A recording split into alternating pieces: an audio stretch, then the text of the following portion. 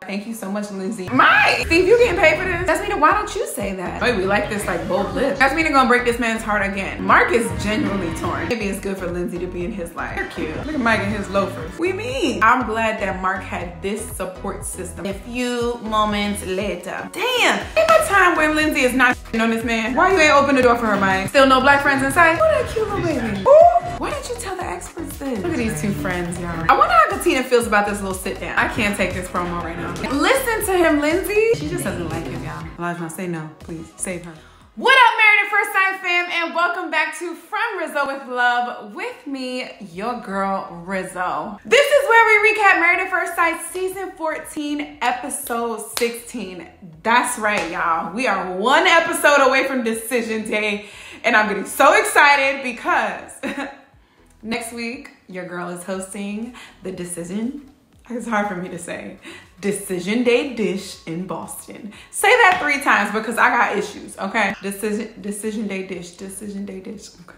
If this is your first time here, if you are coming from Decision Day Dish and you are just meeting me, am your girl Rizzo. We do all TV recaps, primarily Married at First Sight, Real Housewives of Potomac. We sprinkle in some Big Brother, Real Housewives of Atlanta, Love is Blind. I did watch Ultimatum this year, but I did not recap it.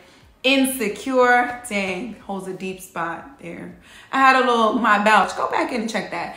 But if you guys are here for Married at First Sight, stick around. Let me know what you think about the couples. I'm so interested to see what's going to happen, particularly with Jasmine and Michael, because I still believe that they need a little more time and it's going to be an issue. Oh my goodness, the show is about to start. So without further ado, y'all, let's get to it. I feel like we always have so much content from Lindsey recording on her own. Like everybody else doesn't have this as much, but she's always in the bed, talking to the camera, talking to the cats, interacting somehow, some way. I'm sure production is like, thank you so much, Lindsey, for giving us this content because no one else is doing this.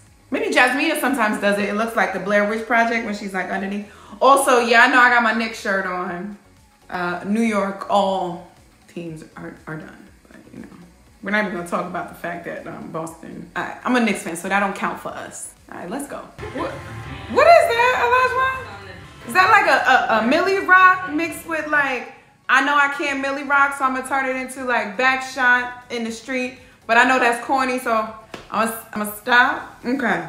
Mike, Mike, is this, is this sweat or is it raining? Mike, that's a lot of sweat if that's sweat. Is it raining outside? Oh, he said I'm with a friend. That's not what I signed up for. He's right. I told y'all they acting like friends. Damn. The first month, y'all was supposed to be friends, maybe the first two weeks, honestly, because y'all been married, so y'all should have been treating each other like y'all in a relationship this whole time. But not a whole seven weeks of friendship. This is tough for them, y'all. Mike is like, I don't know which way this is going, but as long as I'm me, I'm comfortable with whatever decision we make. That don't give me hope, Mike. Wait, how old are Mark and Lindsey that she needs to check his sperm for now? I know they're older, but they're not that old, right? Am I wrong? He said my little guys are her little girls. Ooh, she said I'm gonna give you a little help ejaculate. Can we say that? Or should we watch a video? See? Wait, Mark is the one who said do we need a video? Yo, I'd be so offended if we in the back and my husband needs to. Can I say it? Can I say that? I'm gonna edit that out. And he can't do that while I'm in the room. So we were made to be fruitful and multiply. If you can't do that with me, then what are we doing? Also, what's Mark's search features? You know I always ask that. Mark, what you be looking for? I think he goes real like bimbo-y, like double X boobs and like real skinny. When I see men who have darker hair, I usually think they like women with darker hair, but he really thinks he, I think he is attracted to Lindsey. So he may do like blonde bimbo-y joints. Cause you know, apparently he enjoys being yelled at. What if he's, what's that called? When you like to be humiliated? Hmm, is it called humiliation? What is that called? No, like Doms do. This is, I really, so sorry if this is your first time here. it's not usually what we talk about. I don't know how we jumped into this. This is in minute like 12. We're minute 12. I'm sorry. Not the SpongeBob a few moments later. Oh my goodness. Just said your sperm don't look healthy. Yo, name a time when Lindsey is not on this man? Because I haven't found any for 16 whole episodes. She said it looks like he's been shooting out Elmer's glue. My goodness, y'all. This is, this is insane. Poor Mark. This this is a beat. This looks like a oh, COVID test. Control. Okay, the test is a little faint. She said you got the dad jokes lined up. They're cute. Y'all, it's weird because when they're good, they're good. But when they're not, this is so bad. I know I say the same thing over and over to everybody who's like repeat, which I appreciate y'all. But like, damn. Also, my last recap, I posted it late. And it had copyright infringement. Y'all, it's a lot. I appreciate y'all who watched it because I posted it like, what, four hours, five hours before this next last episode. I don't know. Supri, I remember her. Wait, we like this like bold lip. No way, y'all be fighting about the same thing though. Y'all have an unresolved issue. This shouldn't be the case. It's not like y'all just be going around fighting. Every other week it's a new fight. It's the same. It's social media and job. Okay, maybe it's two. But still, why I feel like Noi's over this man? I told y'all before, I think Noi's like was super enamored really early and she's just like, eh, whatever. The sparks have gone away, the excitement has died down and she's just ready to do something new. You know what's crazy? Like Steve and Noi were my sure shot, but like Noi's making me question her. Back to Olajuwon and, and this Coach Mac. St still no black friends in sight? Okay. okay. Oh, she's in school now. Wait, a couple of things here. So he just went through this with his ex. One, didn't know that you just had an ex. You also said you were single for two years. So what's the just? Two, I did not know that Katina was getting her associates now, currently. But like she's doing that while she's on the show and dating you. And she had a honeymoon, so she's still able to go out and travel. I don't know what he is talking about when he says travel abroad. I don't, I don't understand what he means. Is that like seven trips? Is that three? Because when you're in school, you have spring break, you have summers off, right? You have some time to travel if you really want to do that. Let's say you want to go three different places. That's still possible for her. Now, it's not possible to travel the world, have children, young children at that, right? And get your bachelor's and your master's. That's a lot. I guess it is possible because let me not say that. But I do understand what he's saying. That's a lot on her plate. And he would really have to pick up a lot of the work. And that might not be something that he was, uh, you know, signed up for. Who does that? Is she the one? Ah, now that's a real simple question. Is she the one? Coach Mac, that's what we on the TV for. This is a lot. That's a big question for us. We mean. But I do love his no nonsense. All right, what you gonna do? You need to make a decision. If y'all not on the same page for life, then what are you doing? Which is right. Elijah, say no, please. Save her. Hi, Mike and Jasmina, come on. That's all we got. Look at Mike and his loafers. Come on. Whose baby is this? Not that fresh out baby. What a cute little baby. Yes, Tina. Our last time seeing our BFF Claire. Claire, if you're watching, we heart you. You guys are thinking too much. Yep. You guys are doing a lot of. Y'all are looking for the same thing, and you guys can provide each other that same thing, but you're not doing it because you're over processing. We said from jump, these two people are overthinkers. They are trying to analyze every tiny little thing, and they're not just living with their partner. Yo, why does this bug me? Because every time we're at Mike and his scenes, he's always like hopeful. And then we go to Jasmine and she's always like, nah, this ain't it. Who this new friend? See? Dang, Jasmine. Right. She's your friend, but not just the best friend. Wait, Jasmina just said if Michael, she agreed with her friend that if Michael was more like forthright, made it known that he was really into her and he really wanted it to work, that it would kind of change her mindset a little bit but she thinks he's probably in his head. Jasmina, why don't you say that? Like, why are you waiting for him to say that? You know this man is into you. If that is what is holding things back, why don't you open it up? Because if you know he's overthinking it, that means he's hesitant on how you're feeling. And if you're feeling this way, why don't you say it? Because then everybody, right? These sisters know. Mike and Jasmine are not working and like watching this scene is just sad. Yes. Her friend is like, why don't you speak up? Yes. She just doesn't like him, y'all. Damn. Not the handshake. Oh, what a good male friend. He said, sorry about the kitty. Ladies, that's the extent of sensitivity we're gonna get from men when you lose something or someone. That's it right there.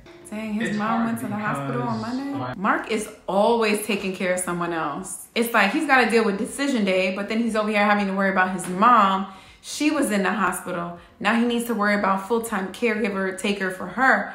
It's like it's always one thing after another. You can see the concern in John's face. I love that Lindsey is talking to his mom like that. Also, shouts to the roses. Good for Mark and Lindsey for working together. She's there for him when he needs because that's Lindsey's thing, right? Lindsey loves to provide. You give her a task, she can do it. You feel defeated, Lindsey will find a way so that she can say that she did it. Sam, so his mom went to the hospital on Monday.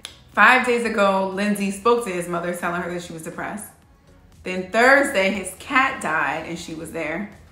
Or he had to put his cat down and she was there. This a lot. Mark, this is the, the most tumultuous eight weeks of your entire life. Honestly, even if this marriage doesn't work, I'm glad that Mark had this support system around him, whether it be production, cameras, Lindsey, just somebody there for him while he's going through all of this. Because I don't know, this is a lot to go through by yourself with you and your three cats that went now down to two. Like, maybe, Mark, maybe marriage wasn't the reason why you went through this experiment. It was because God knew that you were about to have all of these moments and you would need some support. Maybe that's it. I'm sorry that marriage ain't the finish line here, but I'm glad you got something out of it. See, Mark's friend is talking like almost like I'm talking for Mike and Jasmina because I'm like, yo, they've been good this last month, even though they're, you know, still not very intimate, but they've been moving in the right direction this last month. So, can we just talk about this month and maybe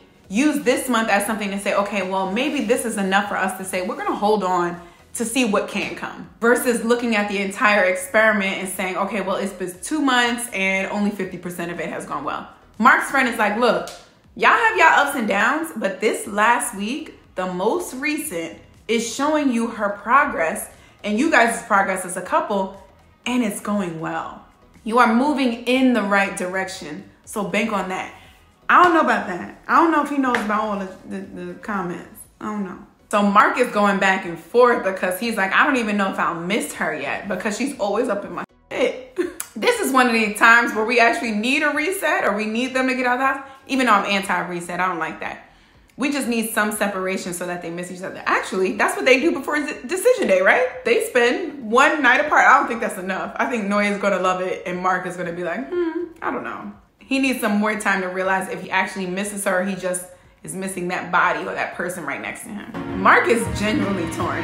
Everyone else I feel like is clear, but Mark is genuinely torn. Not her, his friend being called Paria. Oh, Paria, sorry. Ring shopping, not a sponsored site. Steve has no idea that Noi is like up and down. I wonder if you buy a ring for her, she says yes because she sees the ring, and then you go back and watch this and realize she was only half in. How you feel? Paria, your skin I know there's work there, but ooh. Oh, Steve, Steve. I don't know if we like this goatee or whatever this is that you're doing. Also, big up to the lab created diamonds. We don't need to waste money on real ones. We mean she really loved the round diamond. Y'all had a conversation about these rings? She knows this is coming? Y'all, I can't take this promo right now. They said, y'all, if y'all are giving rings away, you better preview my entire site. Steve, you getting paid for this? Wait a minute. Is Paria actually Steve's friend or she worked for this site? I can't take Lindsey and Eliza where I'm being BFFs now. They are two full-time jobs. Why does Lindsey always just drop Instagrammable stuff? She said we're a full-time job. She said it ain't easy being a boss. How does that apply? They're friendly because they're very similar in their approach. Yeah, the like not caring how other people perceive the things that you say that you like don't give a about. Oh, okay. Good, good job, guys. I wonder how Katina feels about this little sit down because Elijah is the reason that she actually got into it with Lindsey in the first place, right? She was defending him, saying all this stuff. And she was like, I don't care what happens with them. Like, I'm never going to like her. And proceeded to not like her for the last like four episodes or whenever they were together. We even saw it on after party. And then now to sit down and see that they're like buddy buddy. After this woman, you said she was rude and disrespected you and your husband. Like, I just wonder how she's feeling about all this. Like, listen to him, Lindsey. He's saying that Mark is almost intimidated it to talk to you because he always feels like you're going to correct him. And what does she do? She just gives an example of how she's corrected him. I hope she takes that with her and knows that, like, your partner should not feel that way. So instead of giving an example, let's try to reel that in. I'm just like, if this was such a big thing for you and like a, clearly a deal breaker, why didn't you tell the experts this? Thank you, Lindsey. So you want her to cook and clean and do the wifely duties, but you want her working too. She should have three meals for you a day, seven days a week, taking care of the kids, cooking, cleaning, all of that by herself, but also going to work. So she she should take on masculine and feminine roles, but again, you just going to do the masculine. Okay, okay, cool. Thank you, Lindsey, for telling him working from home actually means you're working from home. Lindsey's actually being super reasonable here. If she, if the only issue is that she can't cook, do a meal delivery service. He said, but I'm not a teacher. okay, now I go back. Maybe it's good for Lindsey to be in his life. I don't know the other way around, but this is good. What you mean she can't travel this week, so I can't travel? That's correct. Y'all schedule is not always going to be the same. I am putting these hearts on because we need some love for Mike and Jasmina. Let's see where this goes. Come on, red dress. Mike, Mike, Mike, why you, she about to say it. Why you ain't open the door for her, Mike? Every time I see Mike and Jasmine next to each other, the height differential just gets so much. Oh, she got heels on. Okay. mhm. Y'all saw Neo and Crystal's wedding this weekend with all those red dresses? Jasmine. Yes, black dance teacher. Oh, this is good because they need to be more intimate, so they'll be touching each other. What kind of dance are we doing? Look at this dance teacher shoes. Look at these two friends, y'all. She said, "This is the Michael I want to see every day, and I want to grow it." So wait, they're not just friends. Oh, okay, Jasmine. Yes, Mike. Yes, Mike. I like you in red. That's right. Let her know I am physically attracted to you in this red here. I'm paying attention. Not only do I like you in this red dress, I like you in red. Mhm. I like what Mike is doing here because this is almost like his last ditch effort because he's like, look, it wasn't perfect, but let me tell you what I would have done to make it perfect. Like I have the ability to do this. It just didn't work out that way. So let me tell you what I would have done differently. Y'all both both wasting mad time in your head thinking and drawing conclusions about the other person. I hope Jasmina gets to respond and says the same. Jasmina, you up. Wait, why is Jasmina going into questions for him? Jasmina, this is your turn to say, I would have done X, Y, and Z different. I was also in my head. Like, what, what are we doing? But I do appreciate Mike. Mike is like, look, I got romantic feelings for you, sis. You the best time. Let me not do that. Jasmina gonna break this man's heart again. Oh, I have romantic feelings for you. How do you feel? Sir, I'm still not that into you. Damn. But do you need that to say yes? She oh, said he's just a friend. Mike knew that this was his last opportunity to get her. She was at a five a couple of weeks ago, maybe one week ago. And she was like, I need to have these feelings grow. And so he was like, yo, I'm about to put it all on the table per his sisters. And he got shut down again. Wait, I'm biting, but he said it's heartbreaking to hear that she doesn't have feelings for me. Also think Jasmina likes to be kind of chased, where she likes to be the one who's like trying to get their attention or like, you know, they're, I guess everybody likes for them to be equal, but Mike is like putting all the shit in like, please like me, please like me. And I don't think that that's attractive to her. All right, y'all, thank you so much for joining me for part one of Married at First Sight, season 14. Why is this doing this to my lips? I mean, my teeth. Season 14, episode 16, right before decision day, with me, your girl Rizzo of From Rizzo with Love. Please do not forget to like, comment, and subscribe. Let me know what you thought about this episode. Let me know what you thought about this recap. What you want to see more of. What you want to actually, the season's over. So there goes that. If you are new and this is your first time here, please announce yourself in the comments. I'm very interactive with folks in the comments. I feel like I respond to everything except for I don't know where these um Spanish comments are coming from, and some of them like X-rated. I don't know how you found me, but like I'm cool with you, you know, you know, not not being here. So there's that. Y'all, at the end of the day, I'm always looking for these couples to find love and to stay together. But I truly and honestly don't know what's going to happen with this season um, and with these couples, right? Always Katina and Olajuwon, yes. Well, Katina, yes. I was gonna say Noi is not sure. Steve, yes, he's going to get a ring. Jasmina, no. I don't know, y'all. This is stressful. Make sure you come back. I'm gonna drop part two in like two days. I'm trying to be on top of this a little better since we are, um, you know, ending this episode. But make sure you stick around for part two. Also, if you saw the commercial previews, I will be hosting the Married at First Sight Decision Day Dish Boston edition with a couple of folks some of your faves from previous seasons. So stick around. Super excited for that. And I will see y'all next week after you come back in two days, right? To see part two. But I'll see y'all. Bye. And please remember that everything that I have said has been from Rizzo with love. Bye, guys.